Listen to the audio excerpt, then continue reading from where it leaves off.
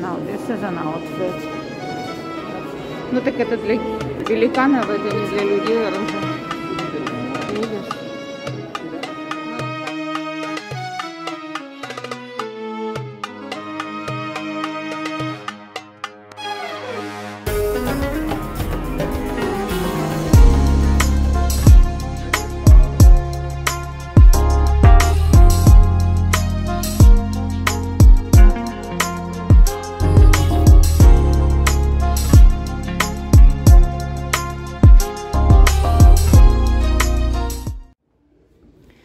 Зашли в церковь Святой Ирины. Она, значит, церковь божественного умиротворения внутреннего, скорее всего. И она, вообще-то, мы спускаемся, наверное, метр три под землей. Опять-таки, для альтернативщиков это будет очень интересное место посетить, потому что вот этот наш любимый красный кирпич – и вот эти вот потолки, и вот эти арки, которые до сих пор никто не может сделать. Так, мне еще надо под ноги смотреть.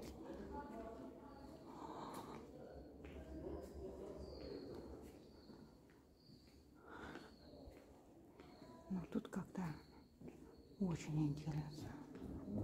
Это же явно как-то неровно. Да. туда. Колонна отошла, да, явно видно. Она и худее, чем остальные. Нет, и там все отошли. Вообще не понимаю, как это так получается.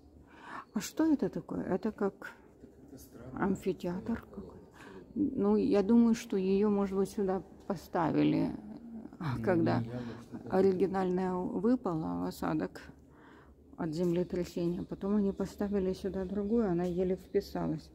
Вот тут оригинальный пол, смотрите. Вообще какие-то... Что это такое?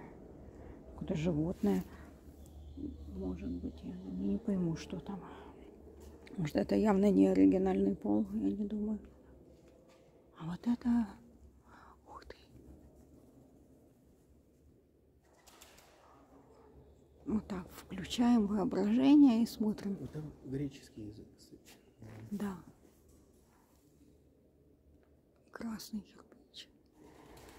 Видите? Ты представляешь, сделать Своды. из красного кирпича? Вот так вот.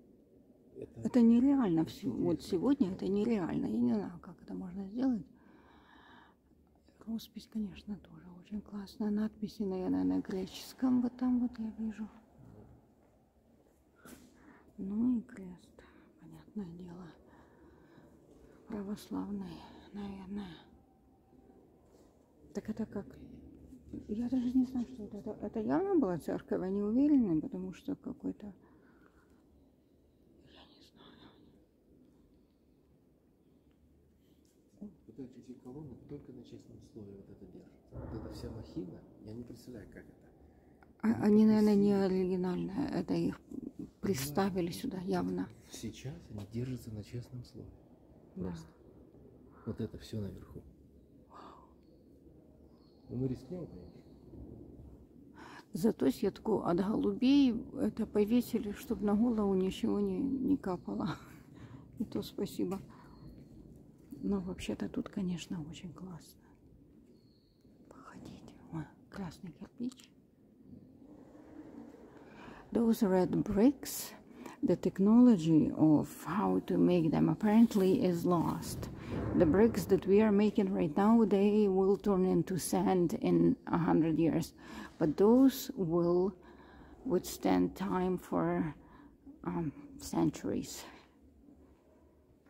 And um, I, I am I'm talking like thousands even, and nothing will be done with like time will not destroy those red bricks.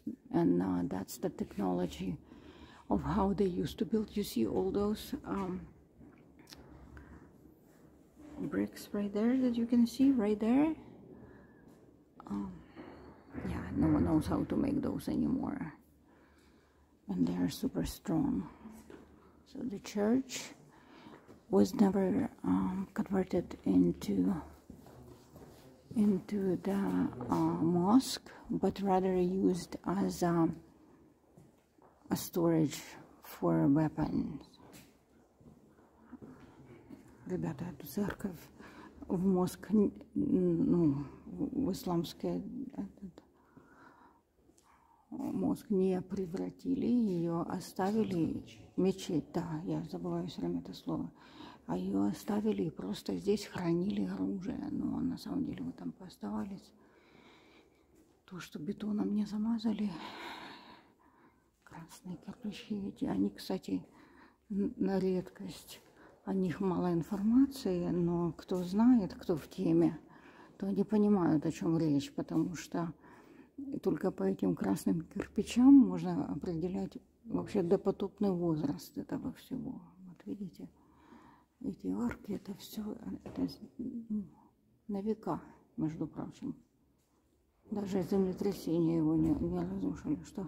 Он саркофаг один, Ну да, но это а же... второй без крышки. Кстати, саркофаг, конечно, очень хорошо, но обрати внимание на знак Ну, на нем, на, это на же- крышке. Вот. Это египетский символ. Это разве египетский? Да, мне кажется, да, символ жизни. Ну, уточним попозже. Ну, это мы, да, я не буду утверждать, но и мне кажется, что это тоже из того же Египта украдено Но формы нет. Вот много лет назад. Ну, они же возили все свое награбленное домой привозили. Ну что, мы зашли в музей, заходим, вернее, под открытым небом. Ну, дулепка тут, конечно. Ну, вот не самолепка, сколько вот это вот на потолке, то, что вы видите. Это резьба по камню. В индийских храмах она, она просто, как без них не бывает. Это, это как мандала. Это мандала, которая, в общем-то, олицетворяет творение космическое. Ну ладно, заходим. Just beautiful ornaments on uh, on the walls and look like traditional Orthodox that was taken over by uh, Muslims. Well, it's still very beautiful. This is how the Orthodox Church would normally look.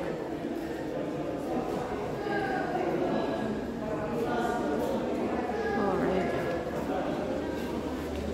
We're just taking a walk around. It's it's a museum ground and um,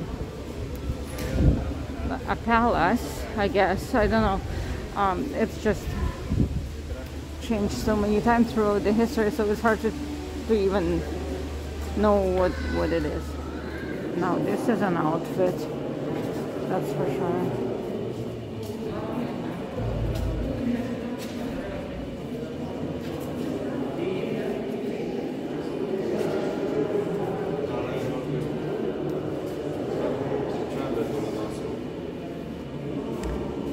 Very detailed. I would say extremely detailed. Ничего себе. 17 век. Да, конечно. Красота. Такие оружия вообще. А вот эти, обратите, а ну, Леш, иди стань, чтобы было видно, какие они огромные. Идти? Хорошо, сейчас подойдем. Встань вот. э, Это нормально. Это такие были. Такие были большие? Точно. А мне кажется, все-таки они... Ты представляешь, какая отдача у него? Да ну, тебе плечо вышибет Первые эти самые были вообще на стойках. на стойках. Да. Ну, мне кажется, все равно это как бы... А поноси за собой такой, если ты вот в тот железный костюм одет, так это кошмар. А вот и побольше, пожалуйста. Эти, наверное, метра два. Сейчас Алешу засниму. Это, знаешь, как снимать нельзя, поэтому сниму очень быстро, ребята. Да. Они не разрешают снимать, потому что эти мечи, посмотрите. Алеша, иди стань там бегом, пожалуйста. Ну так это для великанов, это не для людей оружие. Видишь? Ну, как ты его поднял бы, объясни мне. А махать таким, это великаны были тут явно. Представляешь вообще? Не для людей оружие. Очень. Очень интересно. Ну, ну, шлемы хоть по размеру будут, но, но вот те вот мечи, это, конечно, да. А это вообще шедевр какой-то, ребята, обратите внимание. Просто. Просто шедевр.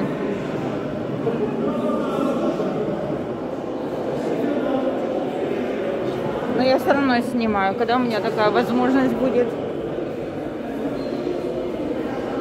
такое поснимать. Вот какая тонкая работа, это вообще, я вам передать не могу. Чем это делали? Какими инструментами делали такое детальное оружие? Я не имею в виду просто там ножик выковать, а я имею в виду вот эти вот орнаменты на них все. Вот что. Догонку этим мечам вообще с, с 3 метра длиной, которые никто не мог бы поднять, тем более махать ним на, на поле битвы. Вот двери тоже.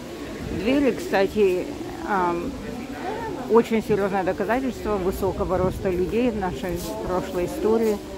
И даже то, что вот эта ручка а, выше головы люди проходят, это дверная ручка. Ну как можно эту дверь так открыть, естественно.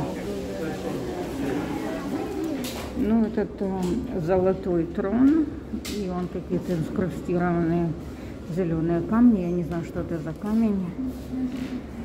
Ну да, конечно, впечатляет немножко, но это на кровать больше похоже.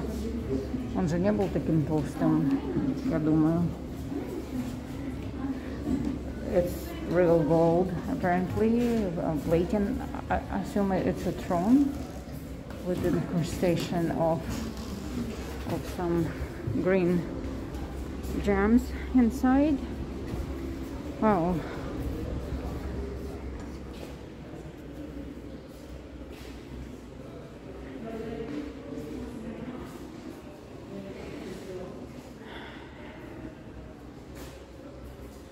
Everything is very detailed, really.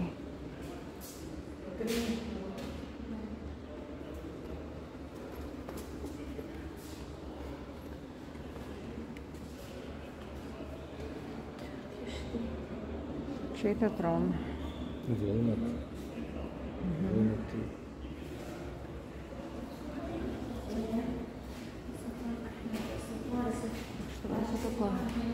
Это камин, что ли? Да, Деревянный. Деревянный камин, да. Очень интересно. Я не знаю, что это.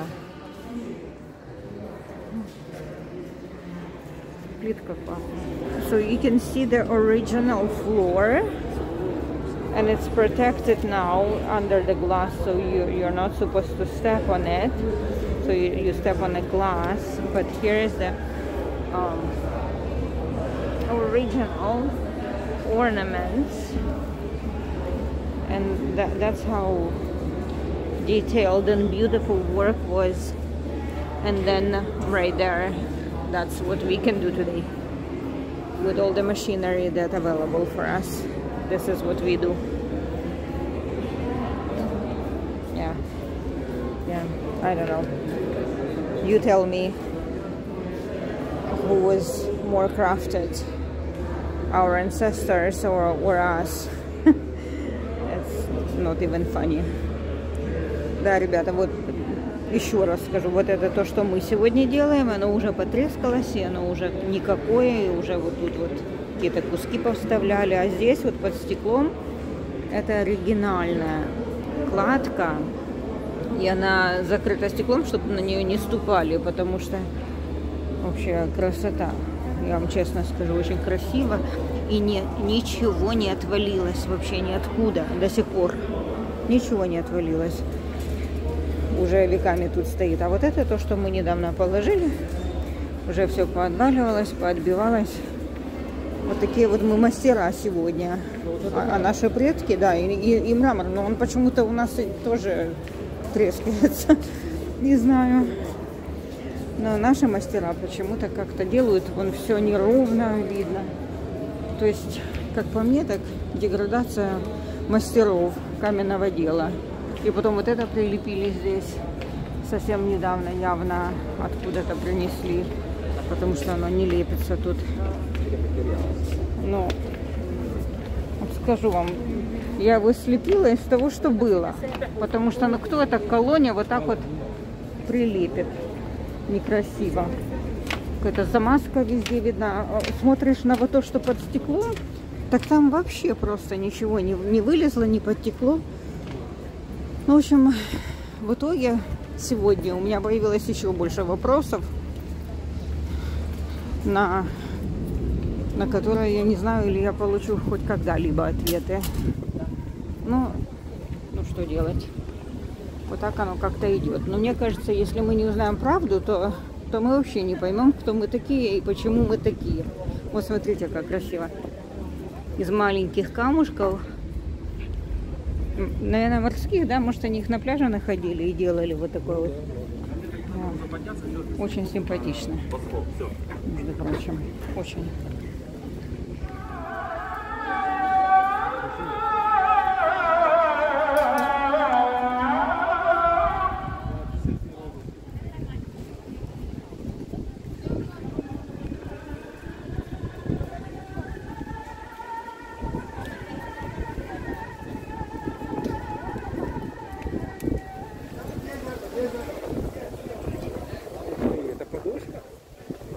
Какая подушка? Где? Это подушка. А, вот под... Ой, я думала, это живое сидит. Это можно рай их подарок 10 euro, 100 euro. O două mă preț.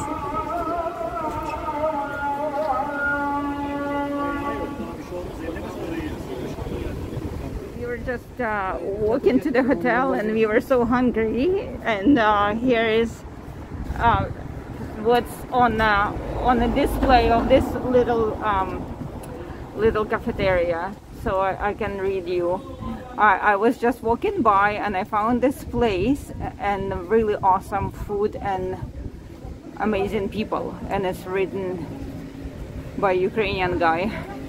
so we decided that we were gonna trust this guy, whoever it is, and uh, we're gonna sit down and eat. Ребята, вот тут вот тоже мы тоже случайно шли и случайно увидели эту надпись, поэтому вот тут вот и поедим. Вот так. А, а название у него есть вообще этого места? Ябак? Ябак? Ну да, наверное. Я не знаю, или я на- найду Кардес, ну, ки- кибар салону. Кибар салону, ну, его не найти, короче, ладно. Ну, по этой надписи можете найти, если кто сюда едет. Достаточно ты заказал себе смотри. Я такого еще никогда не ел. Я вообще-то не хотела, я только суп хотела. Алеша заказал. Вот смотрите, как оно тут это кипит еще. О, слушай, запах, конечно, очень Давай, классный. Вот это можно взять с собой. Да, слава богу, Поэтому можно. лучше съем вот это. Nice, Это, конечно, too much. Good Вы looking должны meat. попробовать, это очень. Okay, will.